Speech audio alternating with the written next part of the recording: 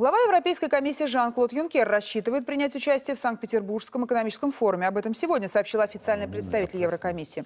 Речь на переговорах будет идти о перспективах отношений России и Евросоюза. Запланирована встреча Юнкера с Владимиром Путиным. Пресс-секретарь главы государства Дмитрий Песков заявил, в Кремле этот визит рассматривают как проявление готовности к диалогу.